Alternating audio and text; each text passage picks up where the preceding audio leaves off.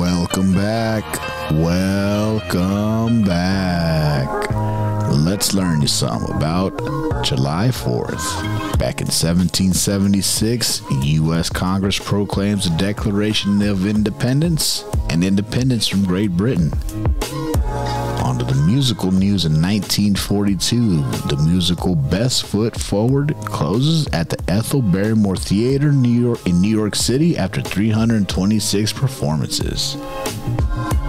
On some music news in 1964, the Beach Boys single I Get Around reaches number one.